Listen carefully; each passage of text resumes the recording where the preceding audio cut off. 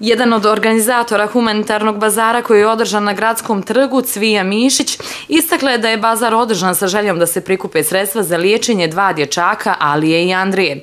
Dječak Andrija dolazi iz Rudog, potrebno mu je 22.000 eura da bi otišao na liječenje matičnim ćelijama u Tursku.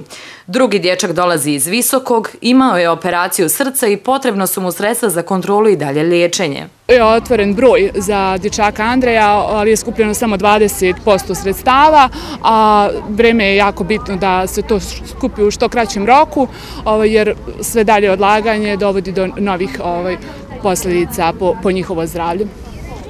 Šta očekujete od današnjeg?